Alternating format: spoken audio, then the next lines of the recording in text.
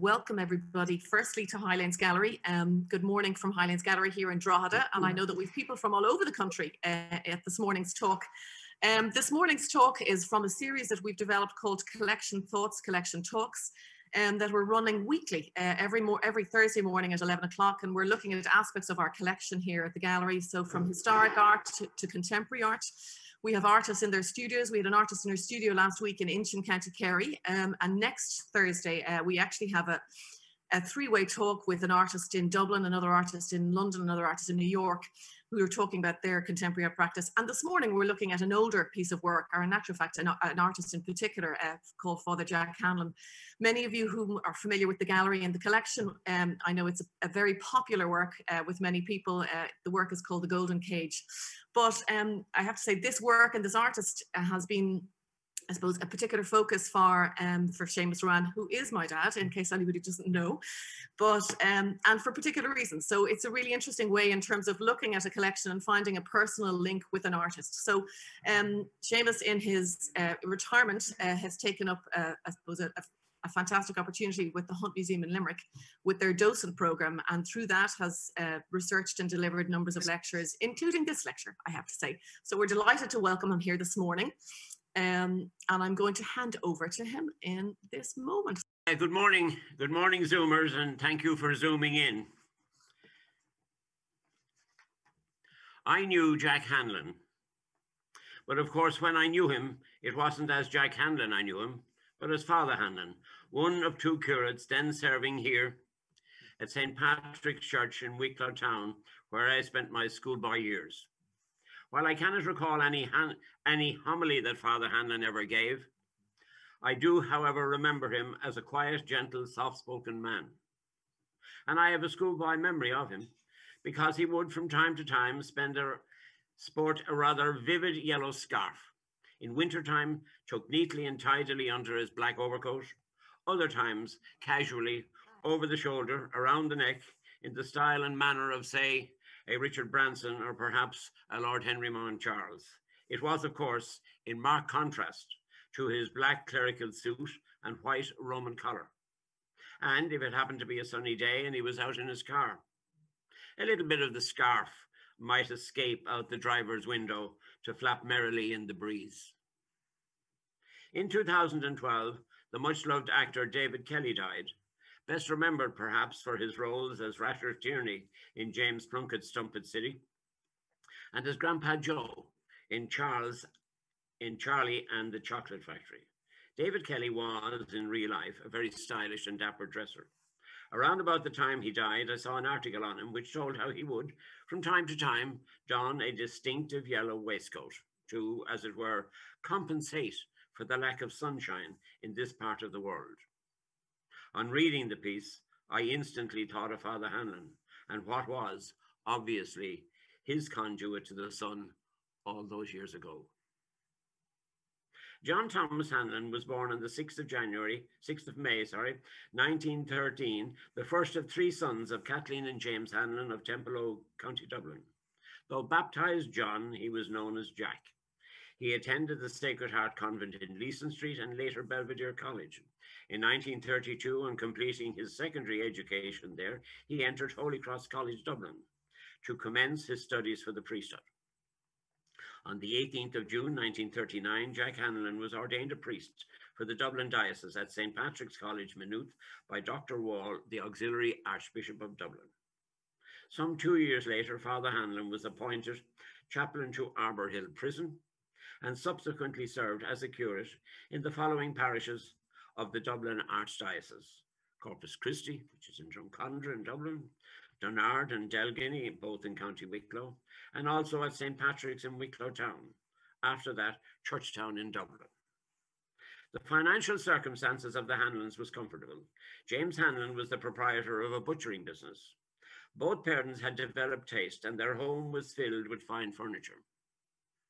Jack inherited from his mother a love of flowers and he was a keen gardener all his life. He also inherited from his parents a life a long life love of beautiful objects. The three Hanlon brothers were attended Belvedere College.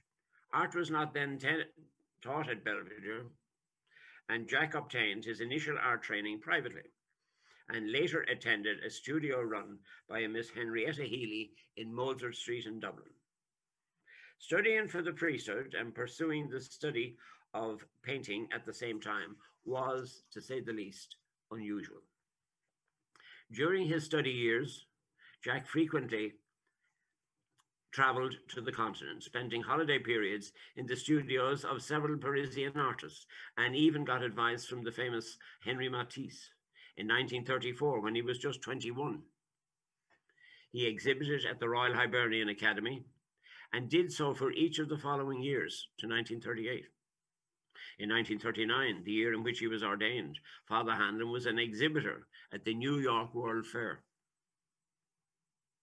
In the volume Theology and Modern Irish Art, the author, Gesa Thiessen, recounted that Jack Yeats attended Church of Ireland services in Dublin, at his local church, St. Stephen's on Mount Street, and at St. Patrick's Cathedral. His faith was not a narrow denominational one, but rather open and non judgmental, as were his views on other aspects of life. Yeats attended the first Mass of his fellow painter and Roman Catholic priest Jack Hanlon. As the author concludes, this would have been a somewhat unusual ecumenical gesture at the time, an act of friendship and solidarity in recognition of Hanlon's vocation as both a painter and a priest. A two-year gap between his ordination in 1939 and his first clerical appointment provided Father Hanlon with an opportunity to avail of a scholarship to study painting in Paris. Father Hanlon painted religious subjects, landscapes, still life in oils and watercolor. His first one-man exhibition was at Victor Waddington Galleries in Dublin in 1941. In May of 1943, a number of artists, including Louis le Brocquy, Nora McGuinness, Mainie Jellett, Evie Hone, and Father Hanlon came together to form the Irish Exhibition of Living Art. And he remained a committee member and an annual exhibitor for the rest of his life. Among his many activities, he found time to be a committee member of the Irish Society of Design and Craftwork, the Council of the Friends of the National Collections of Ireland, and the Dublin Diocese Commission for Sacred Art and Architecture. Father Hanlon won recognition in the form of many prizes and awards, including the third Hallmark International Art Award in 1955 with the work entitled Angels and Doves, the Douglas Hyde Gold Medal and the Arts Council Prize in 1962 for a work entitled Shepel Cormac. It is now one of four works, all by Father Hanlon, forming part of the permanent collection at NUIG. Now, occasionally one sees in print that Father Hanlon was awarded a bronze medal in the arts section of the 1948 London Olympic Games. But it's not true. What happened was he presented two works for the 1948 Olympic Games, one solely for exhibition and one for, for competition, but he received no award. The bronze medal that year, however, wasn't awarded to another Irish artist, a lady by a lady from County Meath, Letitia Hamilton from Dunboyne. Now, Letitia Hamilton, by the way, uh, is represented in the Highlanes by this work in oils entitled Under the Mayo Mountains. Now, Christmas cards was another interest for Father Hanlon. During the 1940s, he designed for Victor Waddington Publications. And here are two cards, but from a later period. Both are from a private collection, and each bear the Christmas greetings from Father Hanlon's mother, Kathleen. Now perhaps is as good a time as any to meet the good lady herself, as painted by Jack in watercolors in. Now, in 1957, Father Hanlon, having served in Wicklow Town for five years, was given a new curacy. Now, the Dublin Diocese is large. It includes all of Dublin City, together with the counties of Dublin and Wicklow. And where was Father Hanlon appointed? Well, he got the Church of the Holy Shepherd in Churchtown, about a 10 minute drive from his family home on Fortfield Road in Templeogue. Very convenient, as it would have allowed him to be very near his widowed mother in her advancing years.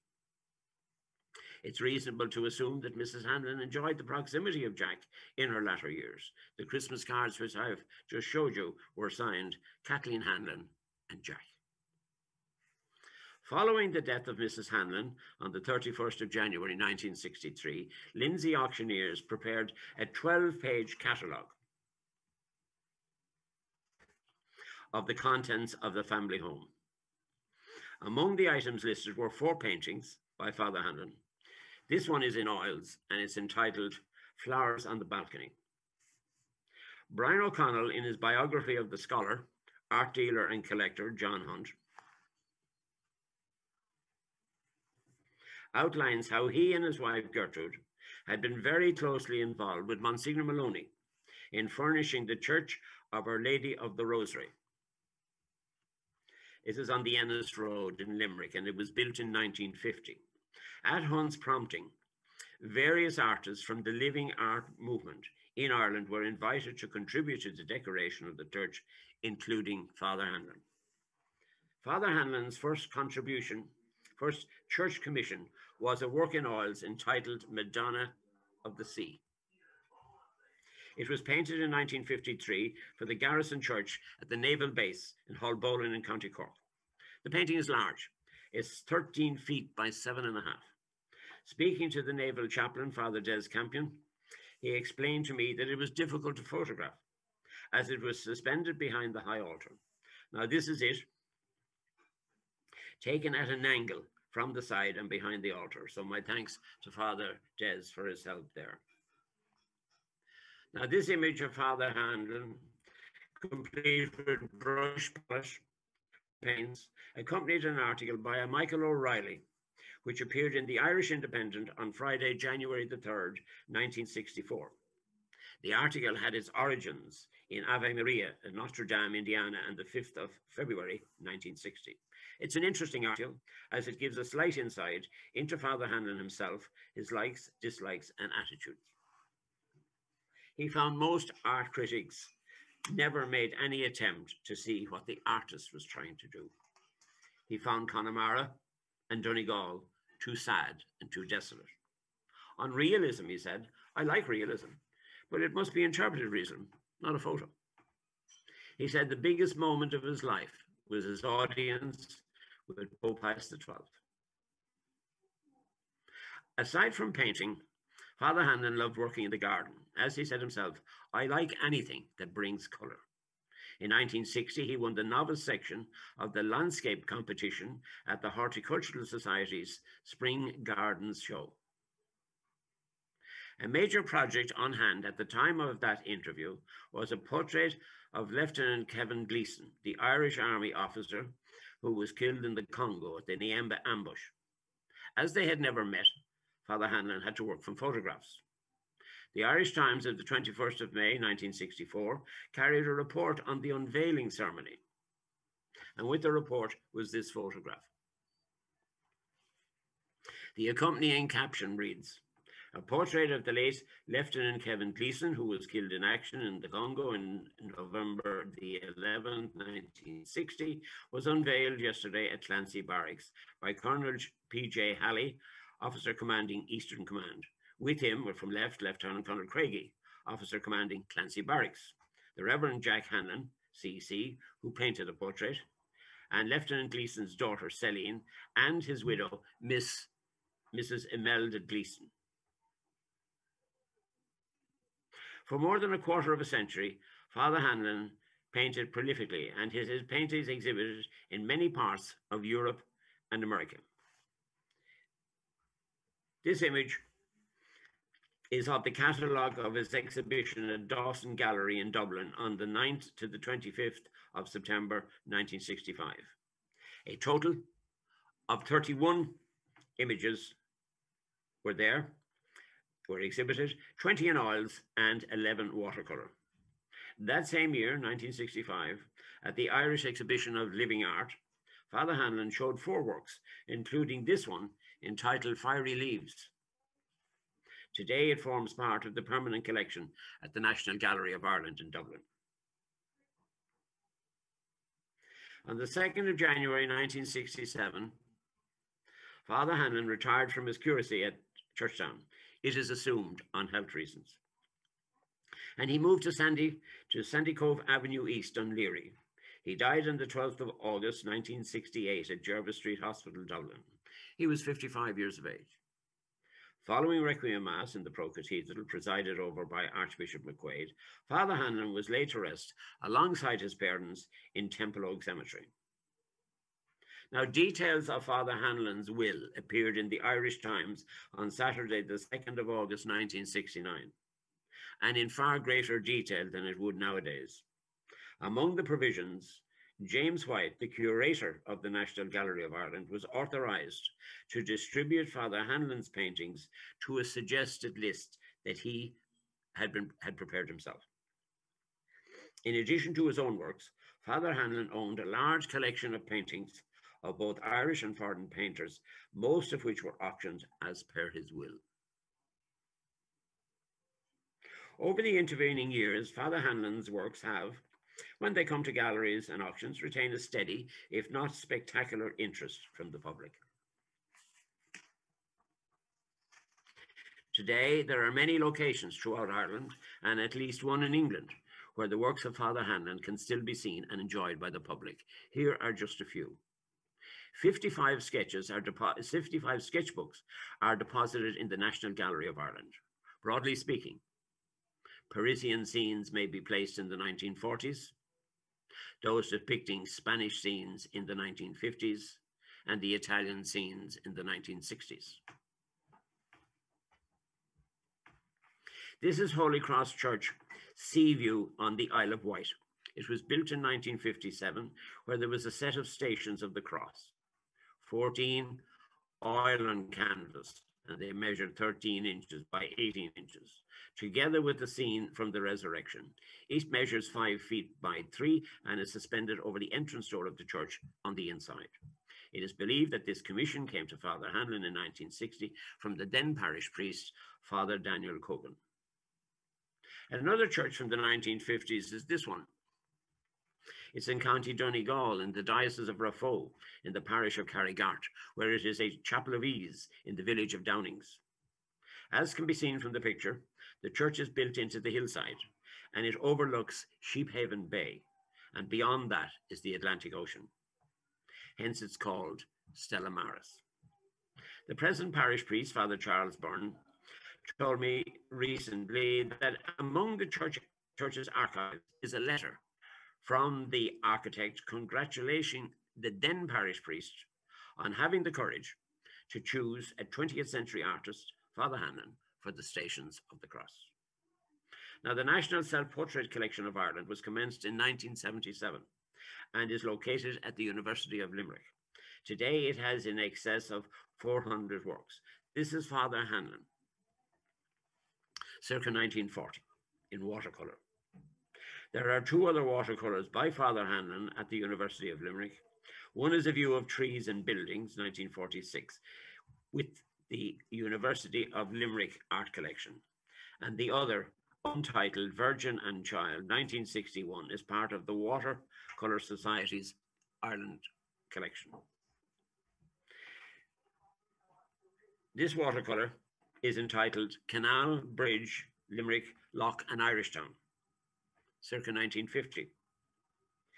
It is one of six pieces by Father Hanlon, all now part of the permanent collection at the city at Limerick City Gallery of Art in Perry Square. This is Terenure College, a secondary school for boys opened in 1860 by the Carmelite Order.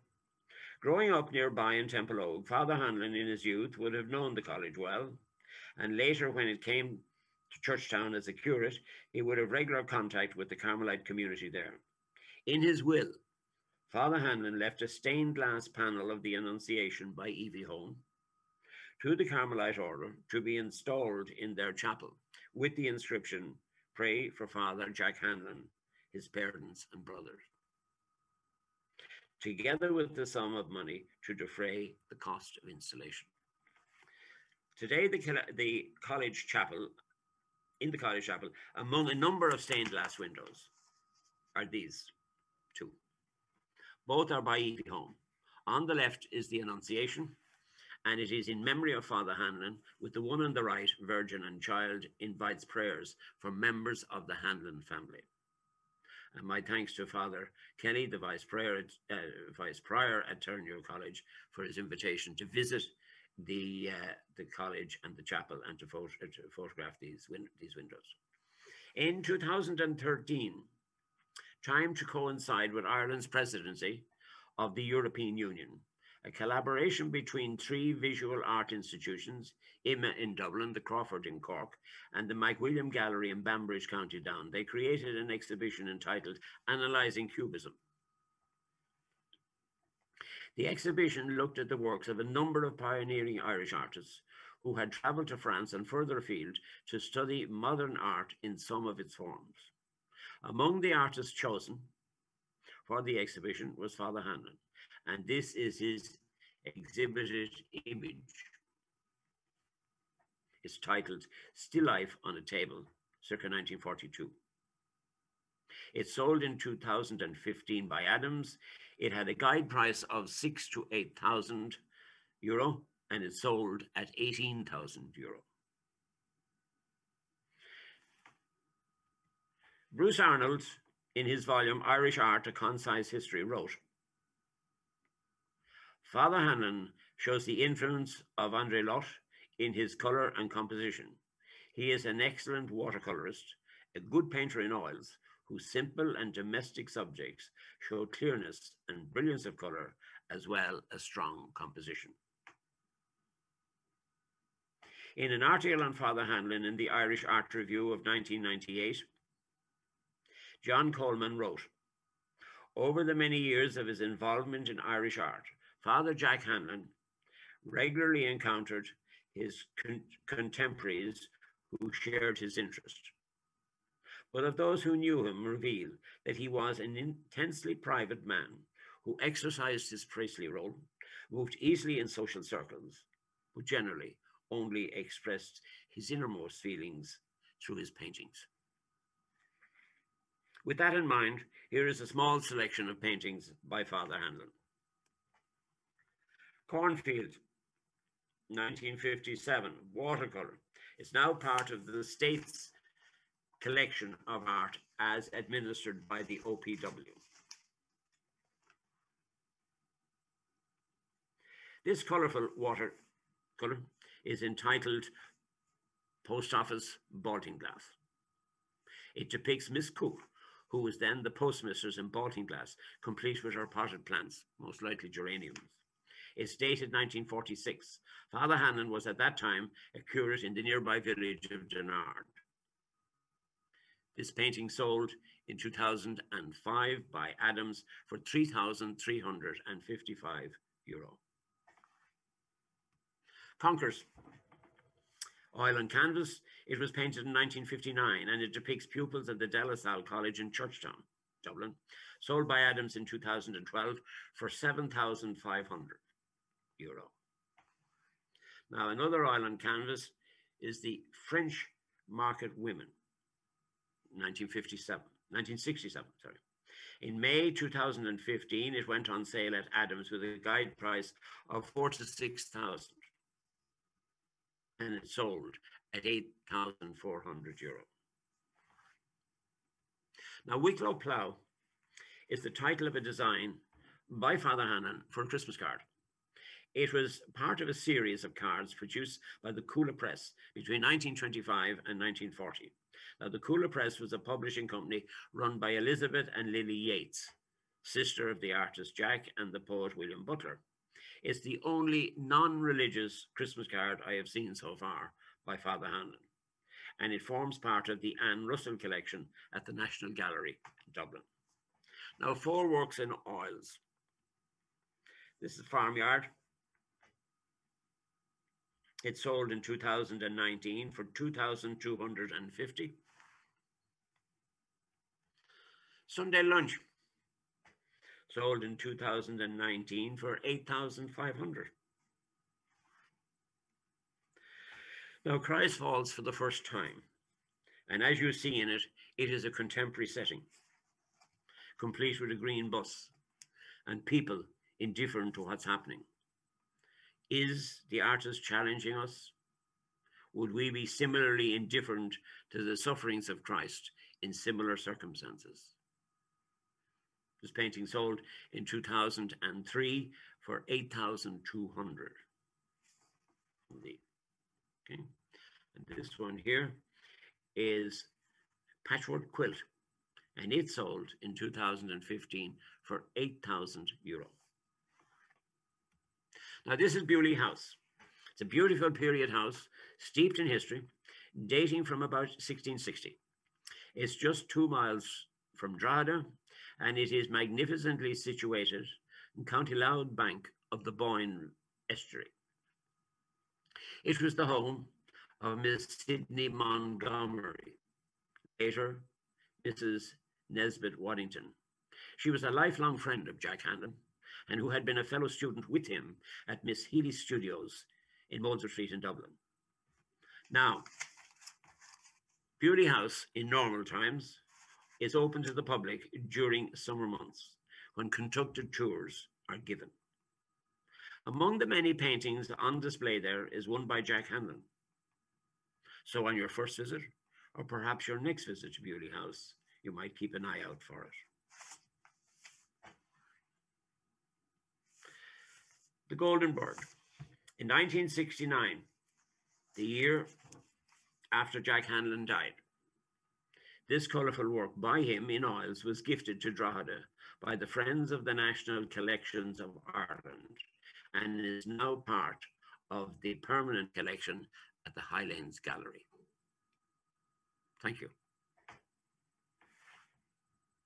Now, a few thank yous from me. First of all, my thanks to Aoife and the team at the Highlanes for the invitation to participate in these talks. A word of sincere thanks to Alison Lyons, recently retired board member of the Highlanes Gallery, for invaluable assistance when I was researching Father Hanlon.